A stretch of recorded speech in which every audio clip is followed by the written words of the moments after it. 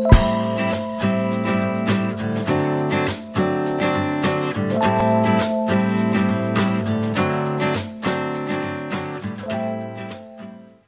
uh, today in my presentation, I'm primarily going to be talking about moving beyond traditional MDM, which I thought would probably grab the attention of those who are interested in adapting, uh, you know, an enterprise mobility management infrastructure uh, into your organizations, and those who are interested in getting to know how things have evolved in the context of enterprise mobility management, you know, uh, in the last couple of years. Before we delve further into the, the contents, we'll, uh, I'll briefly walk you through the outlines of the presentation. First, we'll be checking on how the traditional MDM landscape looks like and what it is all about. And also, as we go on, we'll get to know how things have evolved you know, during the last couple of years to become what they are right now. And next, the, the focus would be on some of the trends and challenges that the organizations today are generally posed with while adapting a new enterprise, infra enterprise mobility management infrastructure into their organizations, which would hopefully uh, set us a better platform to discuss about how WSO2 Enterprise Mobility Manager can potentially be pitched in as a solution to most of these challenges around. If time permits, we'll um, then take a look at some of the key benefits that the WSO2 Enterprise Mobility Manager in particular would bring into an organization in terms of operational and financial aspects. So first, what, what's traditional MDM landscape? What is it all about? Before that, we'll, we'll take a look at how the traditional and organizational structure looks like.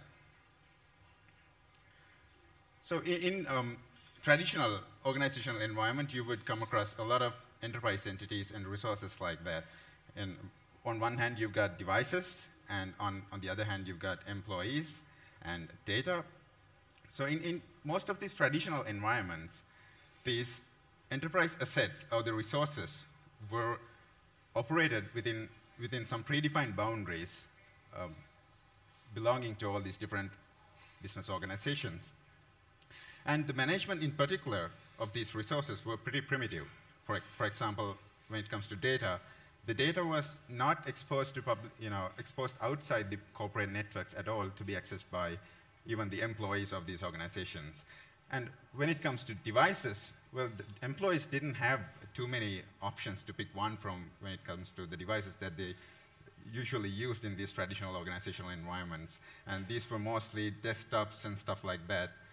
And uh, so also when it comes to the system administrators, who used to provision these devices, the, the, the, management skills and the management techniques and paradigms they used were pretty primitive. So they were mostly focusing on uh, managing the physical aspects of the devices, like physical features of devices through policies. And uh, so, um, but so th this was, you know, mainly viewed as um, something like a closed sort of, sort of environment um, and uh, was primitive. But after the introduction of entities like iPads and all this cool and fancy stuff, this closed infrastructure exploded. And then organizations started adopting, you know, uh, mechanisms and methodologies to, you know, and basically all these new device types around to make sure that their employees stay productive. Not only that, and the, the organizations you know, as a whole, themselves stay productive and improved. So this has resulted in these organizations around adopting more and more of management infrastructure to manage enterprise mobility. So this is proven by many of the surveys done by uh, some renowned market research bodies. For an example, IDC. One of the IDC reports on Asia-Pacific mobile market fragmentation states that over 70% of the organization in the Asia-Pacific region have taken some sort of an initiative to manage mobility, which is a really good trend, I would say. But ironically, the same report states that only a very few of these organizations um, have, have gone beyond um, device-only management and adopted much more broader techniques that would uh, not only secure their devices, but also secure their applications and data as well. Maybe this has happened because there was some lack of awareness of uh, why some proper you know, mobility management infrastructure, overall mobility management infrastructure is required in these organizations. Or maybe you know, uh, that happened because uh, these businesses in the Asia Pacific region have not evolved to an extent where they've extensively used these new device, new and cool device types around. However, th this report was published in 2014, and after about one and a half years back, uh, af after about one and a half years, so we now see today that more and more organizations started going beyond just merely managing their devices, and, and they've started adopting and embracing this modern landscape of EMM, which involves not only managing these devices, but also the applications and the related data as well as other key elements as well. So what's this modern EMM landscape? You'll get to know about it in, in a second. So before we uh, take a look at what this modern EMM landscape is about, we'll try to understand how the, uh, you know, what the organization, modern day organization structures work.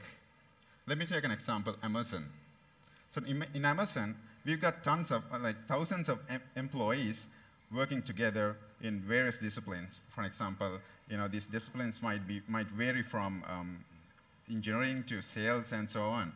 And these employees work from different departments, different sections, different infrastructures, and so on, you know, uh, in their day-to-day -day, um, organizational tasks. And also, the, I mean, the locations of these employees can also be different with the interesting concepts like globalization. So you now see that even people from various different countries across the world work collaboratively together to, um, to the success of a given organization. For in, the, in, the, in the context of Amazon, so Amazon has people working from India, United States, and a lot of other countries. So uh, they, they work collaboratively you know, for the success of the organization. And these various employees who are working from different locations access data. And these data are stored in like different data centers across the world. And this data is exposed you know, not only over the corporate networks, but also you know, uh, through cloud services, APIs, and, and stuff like that as well, which is then consumed by devices and uh, applications installed onto them. So the, the whole landscape or the whole setup has, been, has become complicated than it has never been before. So the need is pretty apparent that you need tools to manage this stuff. You need, you need tools to automate these complexities and so on. For example, if you take a look at the device, device section, so uh, people have nowadays started bringing their own devices into these enterprises or the organizational environments, whereas some of the people still use the, the devices that were provisioned to them by the organizations, organizations themselves. So the, the whole thing has become complicated.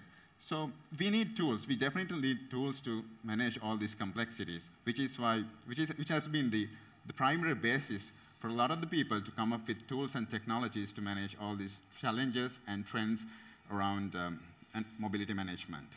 Now, that, this brings us to a very interesting point in the discussion where, where we start wondering what these trends and challenges are all about. So first, this is one of the, the very critical aspects of the, the enterprise mobility management, modern enterprise mobility management paradigm. So the, the, the organizations have gone beyond the traditional mobile device management and they started thinking about connected business in 2015, the, you know, most of the initiatives that were taken towards managing mobility was around introducing concepts like you know, BYOD and uh, supporting all these different mm, you know, uh, device ownership schemes like bring your own device, corporate owned uh, personally enabled devices and stuff like that. But this has shifted, this focus has shifted dramatically uh, you know, today where people have started looking at much more of a holistic approach of solving this problem. And uh, they now think about, they, no, they now not only think about you know, these various ownership schemes like BYOD and stuff like that, but they now look for tools and technologies that would allow these enterprises to you know, in integrate these EMM infrastructures into all these enterprise-wide entities like for governance, for instance, and for analytics and identity provisioning. So this device management is not only about merely managing, securing, and storing devices anymore. It's about you know, making the whole enterprise management uh, infrastructure a part of the, the whole enterprise business ecosystem. So this has one of the key aspects, key challenges and uh, you know, uh, uh, trends that we've seen during the recent past in the context of enterprise mobility management. What's next? So the OS fragmentation. So now you might wonder what OS fragmentation is all about. OS fragmentation is simply different users use, using different versions of the same operating system you know, for their day-to-day -day tasks. Let me take an example. Let's say um, WSO2 is planning to run a BYOD program uh, you know, uh, in their organizational premises.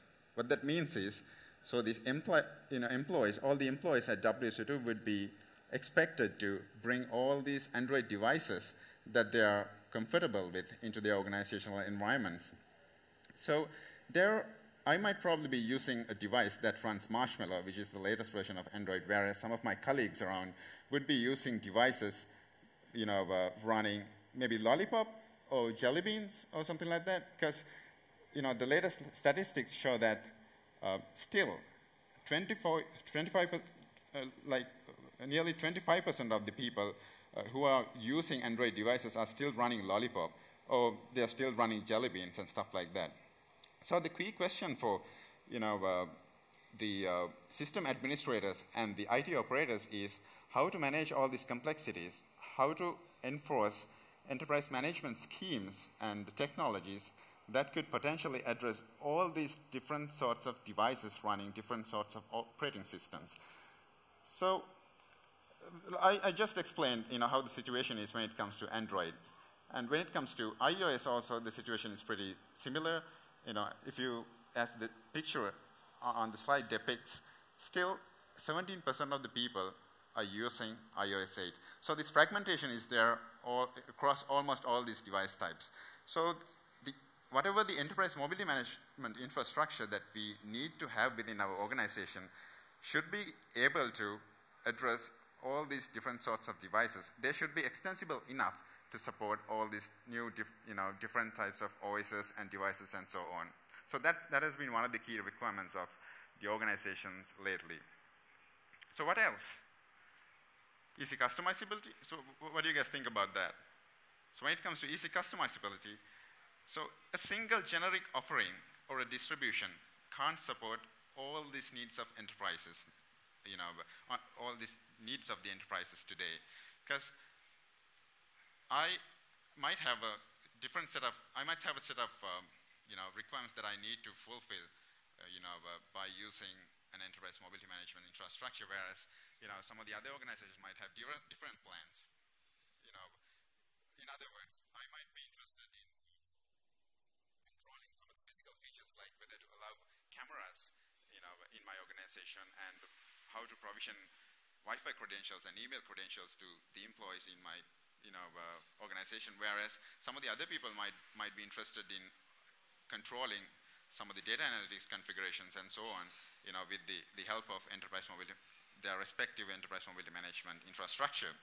So whatever the product or the, the infrastructure that we use need to be able to cater all these requirements. They, they should allow plug-in model or APIs or extension points for us to be able to integrate this whole enterprise mobility management infrastructure into various other tools and uh, technologies that you might already have in your environment like analytics, analytic tools, and then um, you know, governance tools and so on and so forth.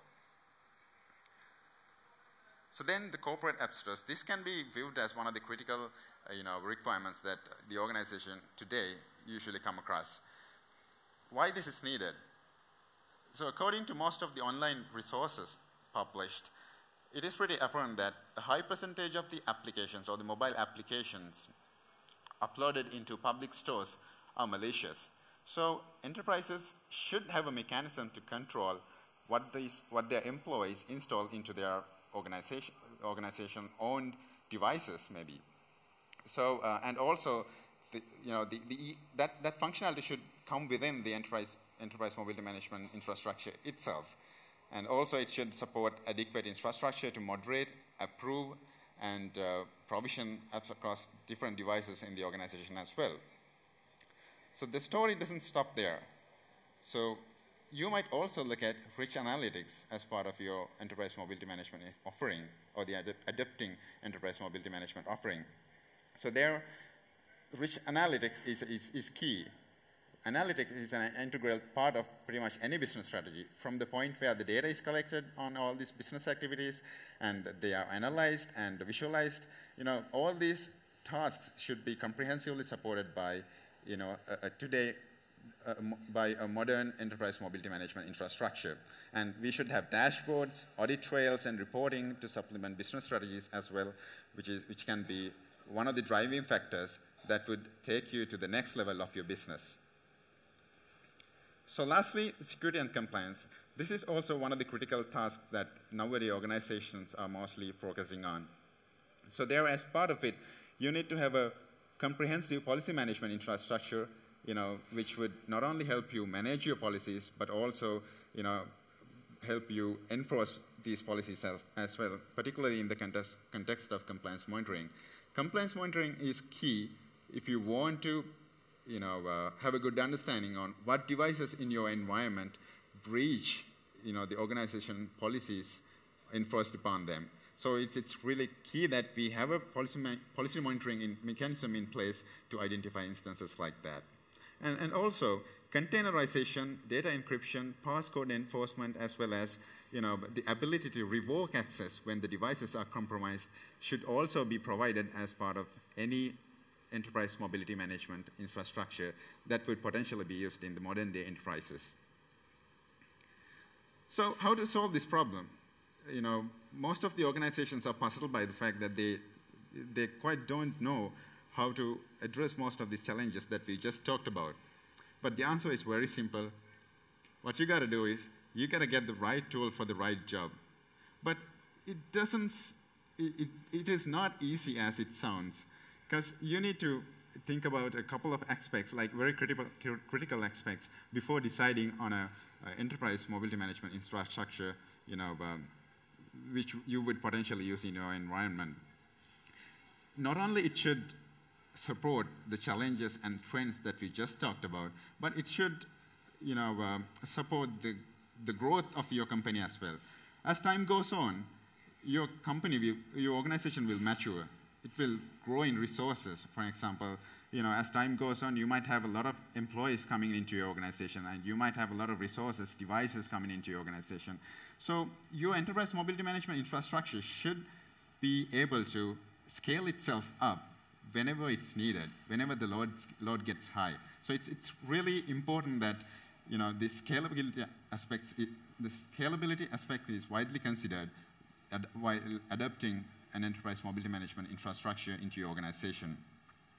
And also, um, it should also, also be capable of winning the, you know, uh, winning the employees, winning the approval of the employees. After all, your employees are the most important enterprise asset in any organization. So it, it's really needed that you win the approval of these devices. Most of the organizations, well, I would say some of the organizations have failed to, uh, you know, uh, establish a proper enterprise mobility, mobility management infrastructure in their organizations because they fail to impress their employees, you know, uh, with, or, or, they fail to put, a, put an adequate emphasis, uh, you know, uh, with, with their employees as to why this, this sort of infrastructure is needed. So your, whatever the adapting mechanism or the infrastructure should be able to be customized so that it would win their customers, or it would win their employees, rather. So now you may wonder, I mean, do we even, I mean, do, do solutions like that even exist? They certainly do. And I would like to, you know, uh, introduce one such solution that could potentially address what we've just talked about, which is WSO2 Enterprise Mobility Manager. So now let me uh, take you through a you know, very comprehensive and end-to-end, you know, uh, use case where, you know, potential users or potential organizations could, you know, uh, could make use of, uh, you know, after adopting Enterprise Mobility Manager.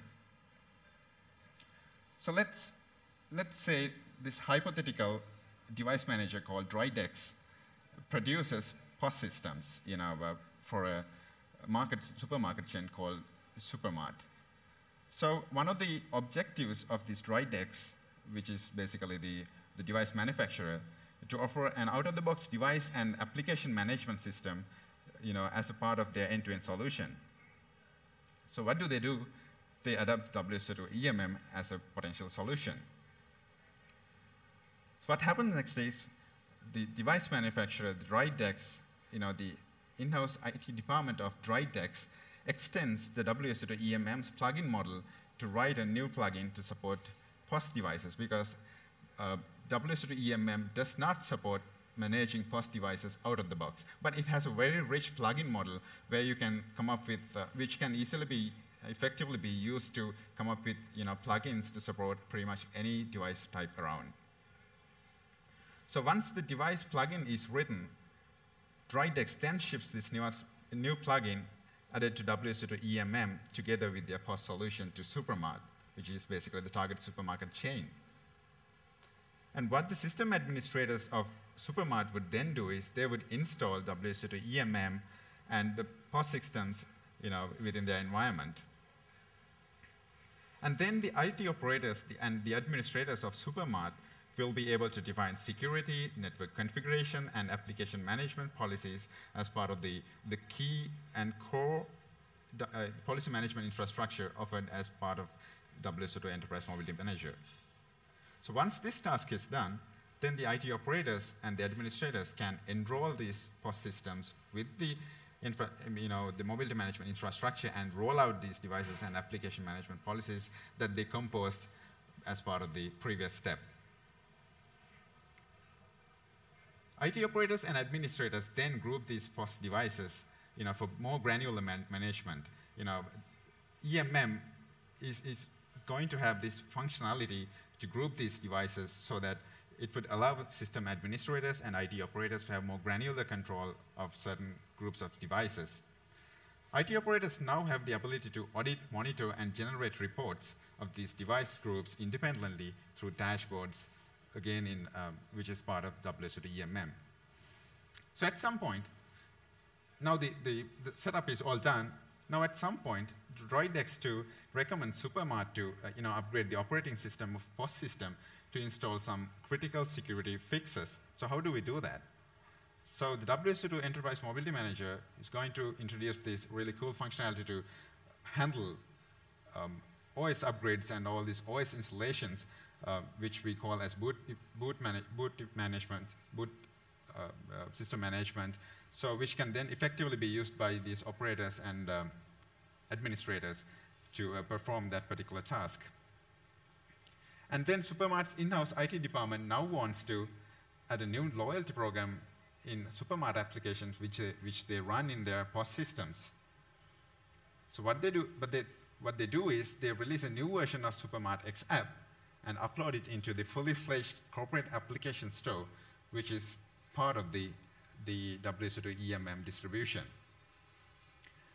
And next, the, this, this new software update is rolled out to POS systems via the App Store functionalities in WSO2 EMM, which basically sums up the, um, the whole end-to-end -end use case that I wanted to take you through. So this clearly shows the capabilities you know, of EMM as well as how powerful it is in terms of addressing the enterprise challenges that we just came to know you know, uh, while we were discussing about certain other you know, uh, components and paradigms uh, during the, um, the discussion. So now let's take a look at you know, uh, some of the key benefits that the WSO2 Enterprise Mobility Manager in particular would bring into an organization in terms of um, operational as well, as well as financial aspects. So it, it allows us to compose, enforce, and manage granular level security policies for individual as well as groups, uh, depending on you know, the role or work style or, or, and stuff like that. And also, it, it, it, makes it possible you know, to make strategic decisions with the data gathered through all activities, all business activities related to enterprise mobility management over a simple and clean interface and powerful dashboard. Going beyond that, WSO2 EMM also strengthens businesses through secure access to information through data encryption, passcode enforcement, enforcement, and so on. And then users can also select devices that best meet their individual needs, including personally owned devices or company-owned devices, while they're still being managed over a centralized entity.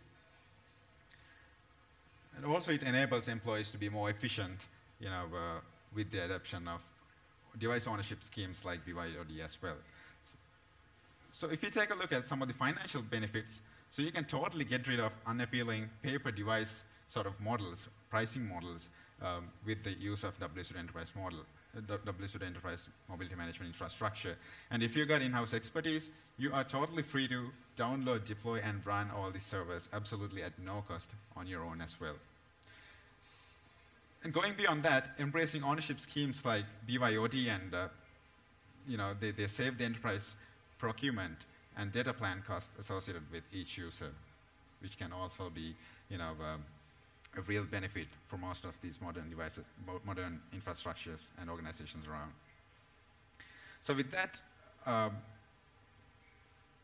that basically sums up, you know, the discussion about, you know, how we could, uh, you know, move beyond the traditional landscape of MDM and embrace all these new tools and techniques, you know, uh, to, to improve, you know, your organizational infrastructure in terms of enterprise mobility management. And uh, if you, I'm, I'm happy to answer any questions if you guys have any.